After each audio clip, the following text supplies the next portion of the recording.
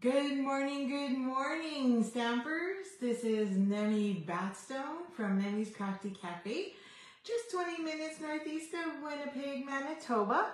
And it is another cloudy day here. And I'm coming live with you today on Facebook. Replay if you're here on Facebook or YouTube. So if you are here, do say hello. Let me know if you caught the replay or answer any of my questions as you walk through the video. Um, today we are featuring some more of the new catalog and particularly the in colors. I've had a bit of time to play with them, so I've been excited and happy to share them with you. And I have a few things going on this month. Well, you know, it's always the case when you have a new catalog.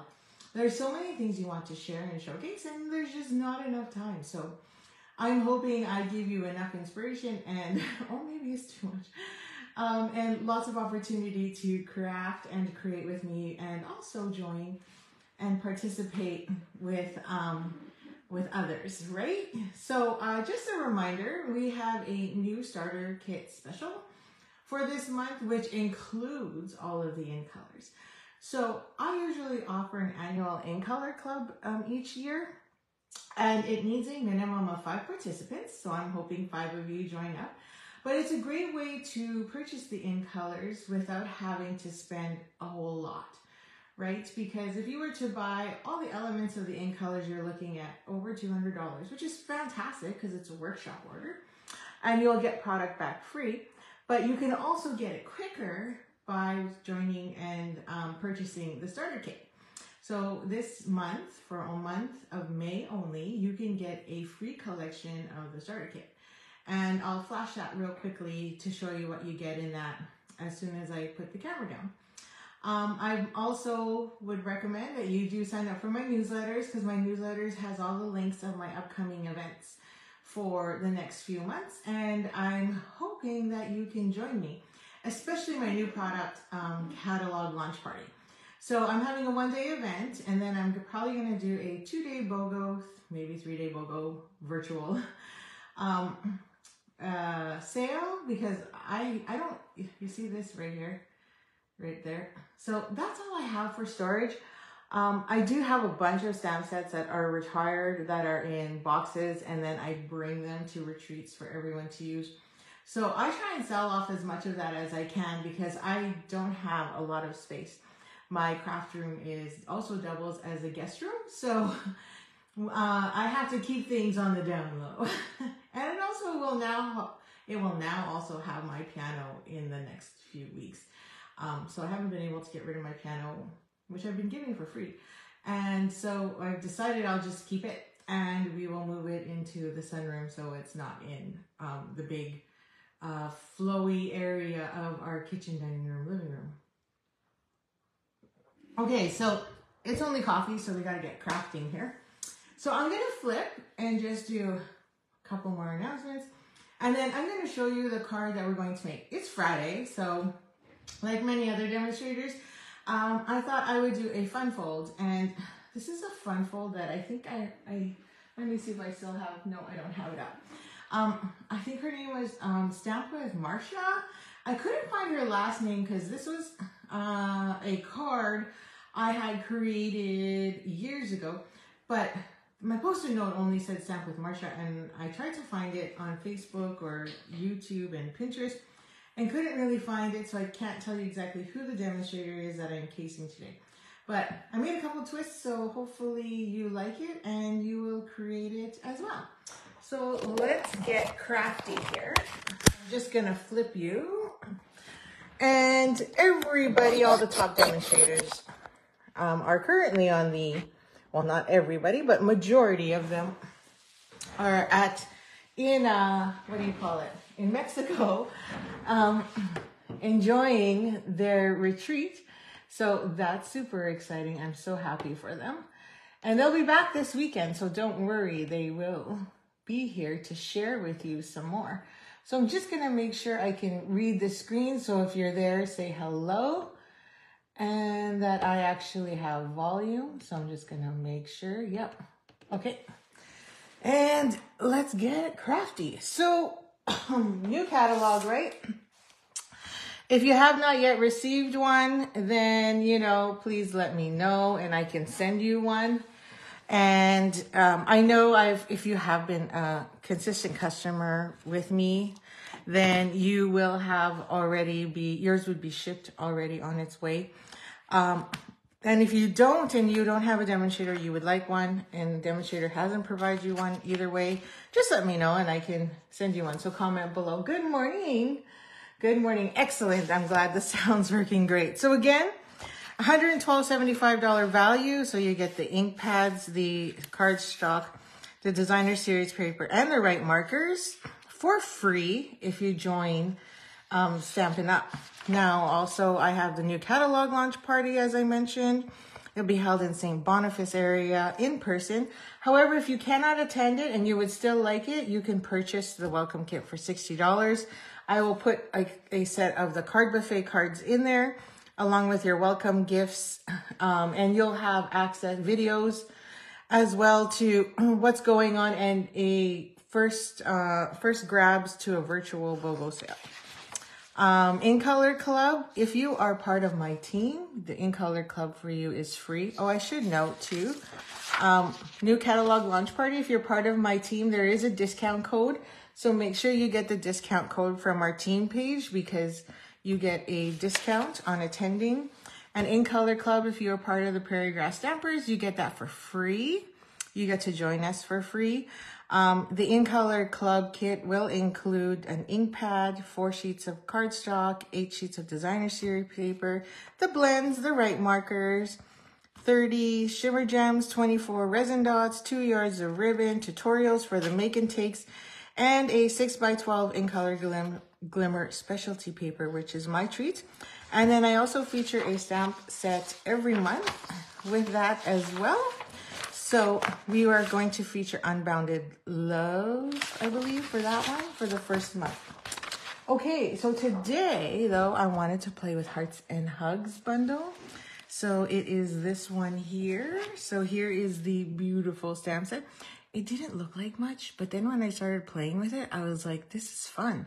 And I participated in a swap and I used this stamp set in one of my swaps. So I can't wait to get my swaps back and share them with you. Okay, so um, I created a fun fold yesterday and I'm to twist it up a bit. And um, I'll show you all of them in all the in colors as soon as we're done creating it. But this is pretty much all you need. So this is the last color. I couldn't decide if we should cut this and have a frame or have no frame. But now that I'm looking at it, I'm thinking, hmm, maybe we should have a frame. Because this is my twist up on the other cards. But I wanted to use a second design. So this is the first, the other side, and then this will be the featured designer series paper. So yeah, I think, but now that I'm working with it, I think I might use the frame. So we're gonna use quite a bit of the In Color product here that you would also get in your In Color Club kit. And as well, if you sign up, you will get the same. So we're just gonna take this. This is, oh, I already scored it. Fantastic. So I scored it at five and a quarter. So this is, but it doesn't look right. It looks thicker. Let me just double check. I might have not trimmed it down yet. Yep, I didn't trim it down yet. So I need to trim this down to four. Four inches. I'm like, why does that look wide? Okay, that makes sense. Because I had to cut a bunch of them to get them done. Then there's my half inch strip. I'll keep that just in case I need it for another card. Because strips are always good for sentiments. Okay, I should be good now. So I'm just going to grab my bone folder here. And that's what's going to go here. So that is the base of my card. So this card um, has a framed base. So it'll still stand because you'll have this, but it'll stand more like this. Just FYI. Uh, because this uh, base is only a one sheet sheet base. So now this goes here. And then, so I did a quarter inch. So I'm probably to have to be pretty consistent. So that's four inches by five and a quarter. So we're to have to go, if I want to have that white border around, Then we're gonna have to go another quarter inch. So if that's four, which is perfectly fine because then I save. So this one, I'm gonna have my stripes going the other way. So keep that in mind when you're doing this because if you want to reuse the other half of a um, directional patterned piece of paper, then or piece of pattern paper, then you want to make sure that that's in the right direction. So in this case, because this is a two inch strip, um, I would probably use that on a card and use it going with the lines horizontal. So I'm going to just cut that down. So that's my piece I will save for later. And then we were at five and a quarter. I'm just gonna double check because you know, knowing me, I'll cut it wrong. Yep. So now we need to go at five. So this will be five. There you go. And then I have another little strip that I can use either side for a card. This will be good with a stripy card. You know, where you get all those scrap pieces and you just throw it on the front. Maybe I'll make that one later. Okay. Oops. I was wrong. This isn't four. Should be three and seven, three and a quarter. See, already made a mistake. That's okay because we'll just use that stripy piece again as well. Yep. You know where you make those scrap cards? with all your scrap and they have all the stripes going in different directions or at angles. Can go either way. There we go. So that one's going to go right there. And so now this becomes the, uh, the actual card and then you can open it up. So we'll stamp the inside first. I'm going to do a bit of stamping. And then we're going to create our fun fold. So that part's important. so I decided to uh, put two characters on here. So I'm going to use the mouse and I think that's a chipmunk, right? Couldn't figure it out. Then my kids were like, no, it's a hamster. So can it be either or? I don't know. So I'm going to stamp in crumb cake because I felt regardless if it's a mouse or sorry, a chipmunk or a hamster, I am going to use crumb cake and put him right on the inside there. Now, how cute is he? He's so cute. And then I'm just going to use Memento and grab one of the, oops, I, for, I was using part of another stamp set and I forgot I put it away. So this is the um, Thoughtful Wishes bundle. That's this one here. And we're to use part of that. This is so beautiful. We used this yesterday, didn't we? or this week. So we're to take the You Make Life Better because I needed another sentiment because um, it actually kind of, the fonts match except for the fondly. And these were all straight ones and I wanted something bigger on the inside. So I'm just to get a bigger block too. So we're to take this, You Make My Life Better. And I'm to stamp that right there on the inside with the little guy. And I'm just to use Memento. I was to use the ink color, but this one's pink. And I'm just to stamp him right about there. You make life better. There you go. Beauty. So still plenty of room to write, but you also have the top part if you prefer that. Okay, so that's that. And then we're to put this on the front on the inside. So we'll just glue that down now. We might as well make this part. And, well, we'll do our fun fold piece to this next. Okay, I like to add my middle initial in the middle. My my initial in the middle. Not my middle, my first name initial. I love this paper. So we have a new stamp set called the Leaf Collection. I should show that one to you as well. It's quite popular last weekend. And it has all these leaves in different directions. And I was like, that's so pretty. And that's what this reminded me of. So I'm thankful that you only get like eight, uh, four of these in your, four, right? I think it's, I think it's only four. And so four of this pattern. So I'm like, okay, if I run out, then at least I can use that big leaf as an option. And then this is gonna go here in the middle and it's gonna have the sentiment um, so it's there when you need it. So we have, you're probably like, why is she going backwards? What is on the front? Don't worry, I'll explain it. Now I'm gonna try and stamp this straight somehow without my head in the way. Hopefully I get that straight. Okay, so that's gonna go here. But first we need our fancy dancy um, fun fold. So we're gonna take these two little squares. They're only like three inches. And the reason I went with three inches is because I'm frugal. I don't like to waste my six by six. So then I still have three inches left. And we're just gonna score these both at one inch. So then we know where the fold is. So that one inch, or I could have did a half inch, but one inch seemed to work really well at making the tips. If you go smaller on this fold so that you don't waste a lot more paper um, hidden, then uh, just know that your tips will overlap. You're like, I don't get it. Yeah, of course you don't, because I haven't told you what I'm doing yet. Okay, so then we're gonna grab our ruler and we're gonna find the middle. So this is, um, this is three inches, so one and a half, because we have to make a, a tip, one and a half. And then I'm gonna do that here as well. One and a half.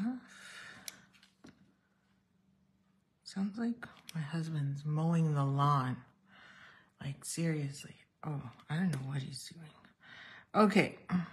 Thought he had work work. Okay. So we'll do that. So now we have to make a tip, kind of like, you know, a point. So we're just gonna take this end. This is like a mystery because I haven't told you anything or showed you the final card yet.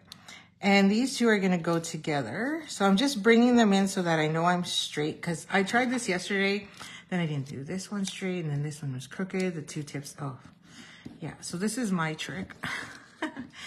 and then I'm just gonna flip it and now I've got my two tips. So there's my one piece of my fold, of my flap that's gonna go in this card. And our designer series paper is quite thick, um, which is a good thing. And I love that about it because then you know you're getting really good quality paper.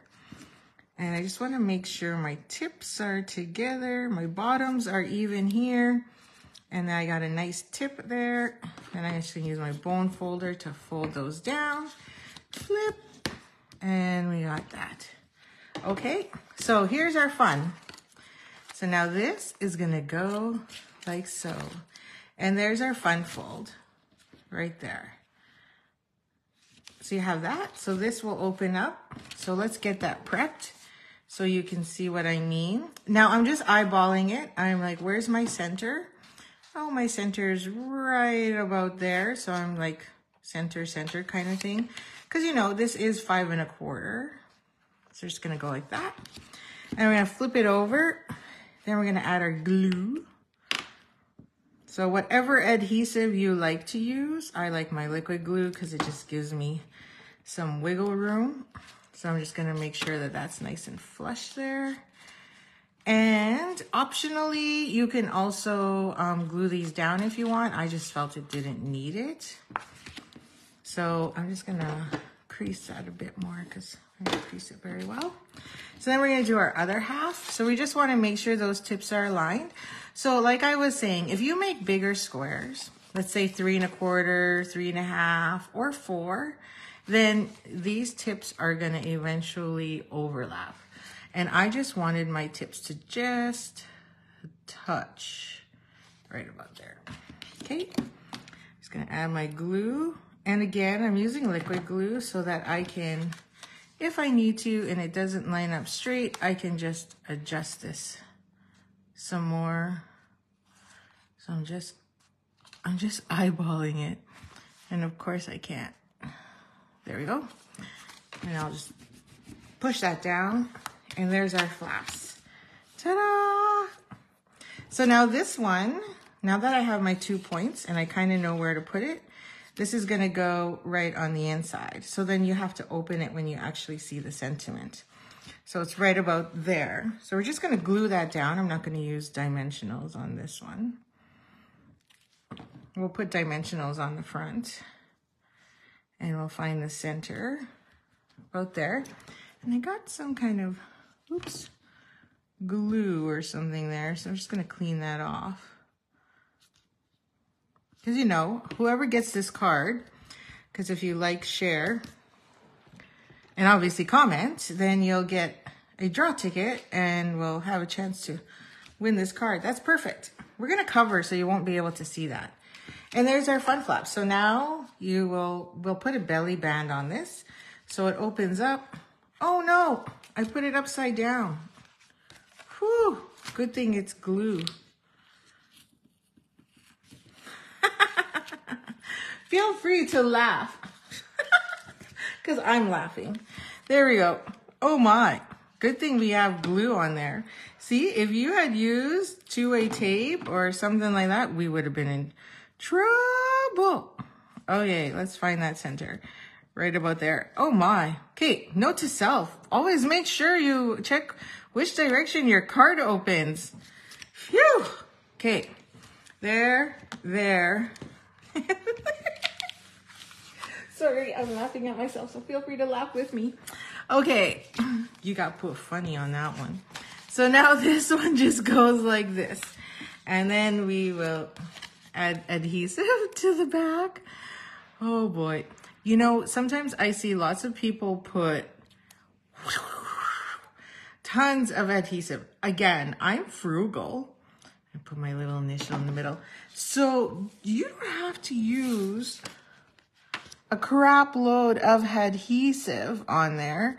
Our The multi-purpose glue holds really well once it dries. So I would do, I know, you know, I've done it so many times or put it upside down and then it opens the opposite direction. But then I just turned it into a fun fold and add another flap so that it, it was assumed it was done that way. Cause I'm too late now, right? So anyway.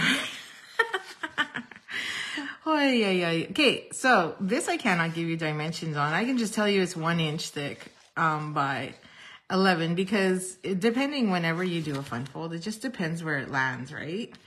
So you just want to make sure it's tight enough to um, slide over and then it's also loose enough to slide on and off. So you want it tight enough to hold, but then also tight, loose enough to be able, I think I have to go just a bit more. I'm gonna try and pull that just a bit. Because you don't want it to be too tight. And then you don't want it to be too loose so that it comes on and off. So I think I'm okay. So then I always, I know most people just leave it, but I like to make sure I'm crisp. So I just take my bone folder and go. And now it's going to be too much. Usually you can get away with about 10 inches, but I always just like, what's the point? You're just scrapping a one by one if you cut this one inch off. So I like to just eyeball it and then I will trim this one inch off. So it's not overhanging my sentiment. So you can put a square, a circle, a rectangle. Um, I was to use the postage dies. And then I thought, no, I'm going to keep it simple because some of you may not have all these supplies yet. And so I didn't want you to feel like, oh, I can't make all this. So I wanted to make things with what we actually have on hand. So put that there. And then I'm going to add glue here both tips. Make sure my belly band is straight, like so. Then I'm gonna grab my tear and tape and I'm gonna give it a little more texture and life by adding some ribbon. Okay, so I'm gonna grab the pretty and pink ribbon I always like to, um, when I do a belly band like this, I like to make sure that I put some adhesive down in case, right? Like, because you don't want that, you don't want this ribbon to be extremely loose and then it falls off the belly band. especially when you're giving it to people who don't really receive fun fold cards um, and don't realize you just rip off the belly band. I've had that with a few people because, you know, they get my fancy cards and like, oh, it's so pretty. But then they don't know how to open it and they try and untie the ribbon. And I'm like, no, that's not how the card opens. So yeah, anyway. But they don't know that. So some that's why it's kind of cool how we have some of those um, die sets that say, oh, or stamp sets that says open me or that comes with an arrow so that they know that you have to, there's a pull tab or a rotation tab or something like that. So there you go. And I just have a little bit extra here, so I'll just cut that off. There. So there is our belly band, and here's the true test. Does it or does it not fit? Perfect. Yay. Because sometimes I put this on too tight, and then you're like, oh no, they're going to struggle. They'll easily get it off, but then they can't easily put it back on. There, isn't that beautiful, this color? Pretty and pink. It's, I think it's a toss-up, right? It's almost like it's not as bright, it's brighter than Blushing Bride, I think, which was also retired. So here is our circle, so that's just gonna fit there. So we'll just put that on right now. So I'm gonna use dimensionals for this one. So we're just gonna find the center of our circle. And I'm just gonna put a bunch of dimensionals. I usually like to do three or um, usually four or three um, because of the fact that we are use we're, it's going on ribbon, so a little bit extra is kind of nice.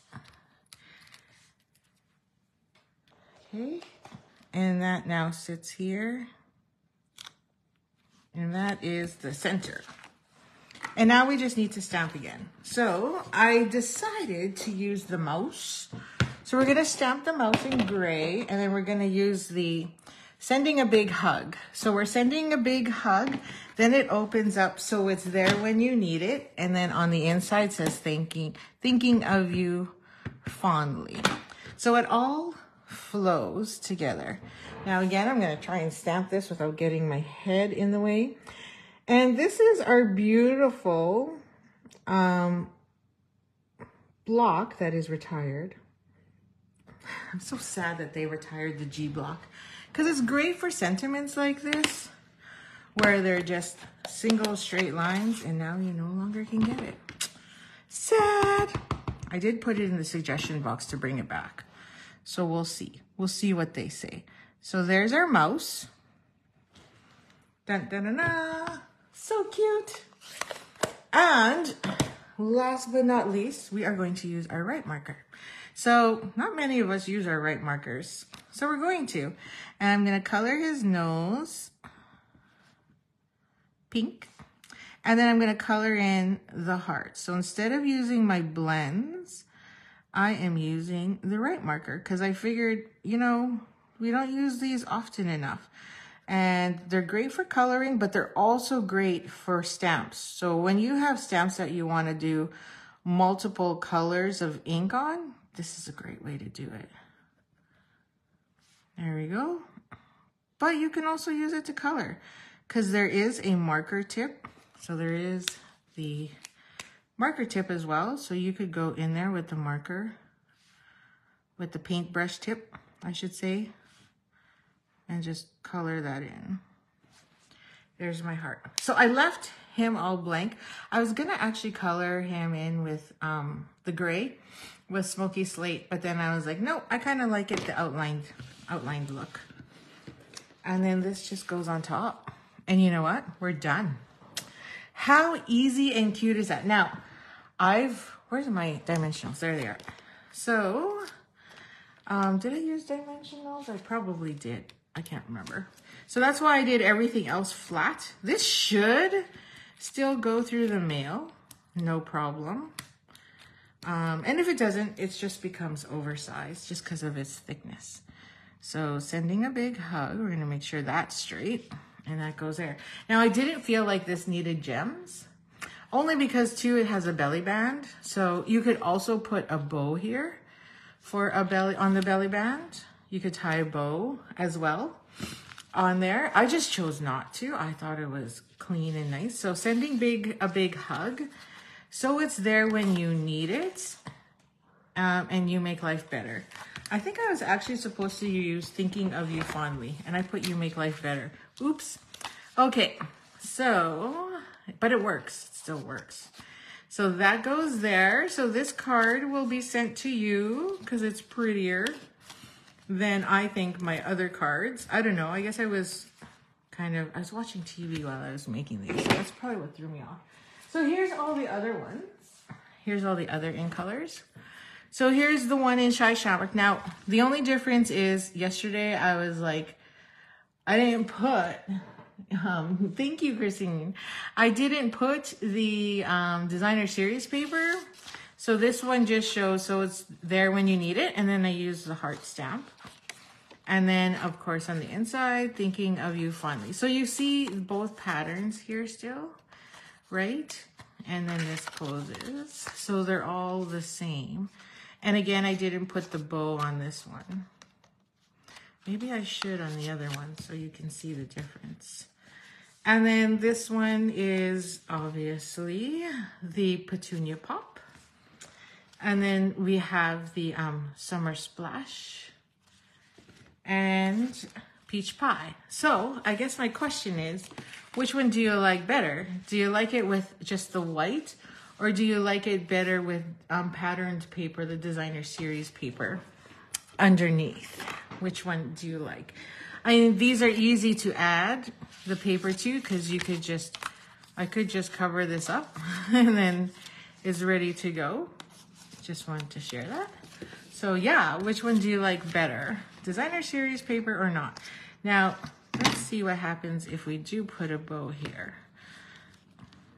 I almost feel like I would want to slide that over like the sentiment, but I don't think that will work. Oops. So we're at the 30 minute mark, so that's good. And we're done. But I just want to see what it looks like with ribbon if we are to add a bow here. Okay, so there's a knot. And then a bow then, oh, I think I need a bit more.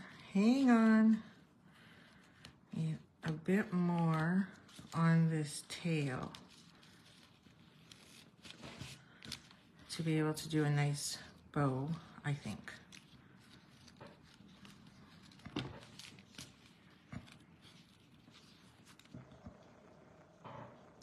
Come on. You know, it's always difficult to do bows when you're live. Okay, there we go. Oh yeah, much better. Glad I added that little bit there. And then we'll cut that off.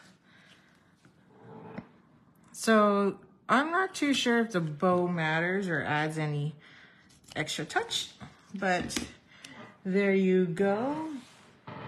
You like it with the pattern paper? Yeah, I think so too. And then there's a difference when you add the bow on there. So I'll probably go back and add the pattern paper to those. And um, cause you can, doesn't matter, you still need that piece. And then there's the bow. So don't know if it really makes much of a difference, but would love your opinion. And that's it. And we're done. So super duper easy, right? And it's a fun way to play with the designer series paper. Um, you have two you can use. So you can use one for the inside and then one for your flaps.